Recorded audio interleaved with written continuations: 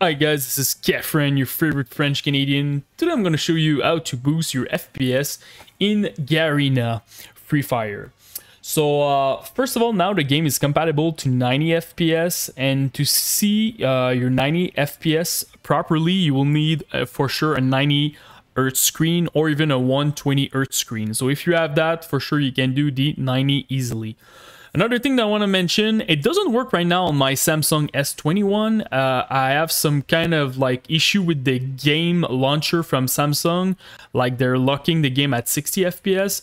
Uh, I heard a lot of people is having issue with it. Do you have a way to like to to make it work uh you can like definitely look it on the internet so it's a bit weird i hope samsung will work with the developer because right now uh, league of legends wild rift is working very well at 120 fps so let's start with the setting to make sure that you have your 90. So go to settings, go to graphics.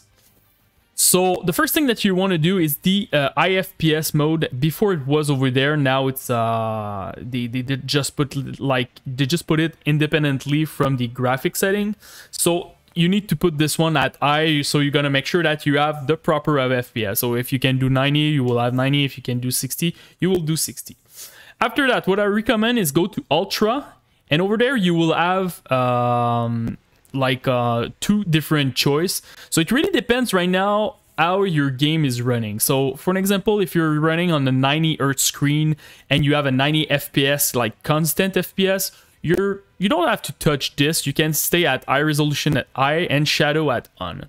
But if you're struggling with your FPS and you're, I don't know, you can't like get your 60 or your 90, the first thing that you really need to change is the shadow. It's not a huge deal in a game like that. Your image quality will stay like very nice because you're staying at high, but uh, you will remove the shadow in the game and it will give you a 8% boost in your FPS. If you still don't get uh, your 60, 90 uh, FPS, for sure you will need to touch the resolution and go to normal. So to make sure that you have like the maximum performance on this game, you definitely have go to normal, off, and IFPS here at I. So this is pretty much it. Another thing that I recommend, uh, you have like some kind of like tuner on your phone normally, like if you have a Samsung phone and stuff like that. Start with your tuner, like make sure that you remove all those applications that's currently running. And after that, boot your game. So you're gonna make sure that you have a, a proper RAM allocation, CPU, and GPU for your game.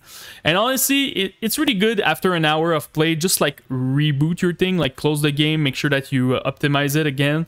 Uh, click on your tuner from, from your Samsung phone or whatever phone that you're using to make sure that you always have like a, a nice amount of resources to play this game. So that's about it, guys. This is the way you will have your 90 FPS. If you have any question, just comment in the YouTube section. Post me uh, your phone. If you know the spec of your phone, go for it. And uh, your question, like, is it about like uh, optimization, FPS? Uh, do you want to run the game with an, uh, an emulator like uh, BlueStack and stuff like that? I have a couple of guide that will show you how to do that. So, and finally, don't forget to subscribe to the channel. Peace.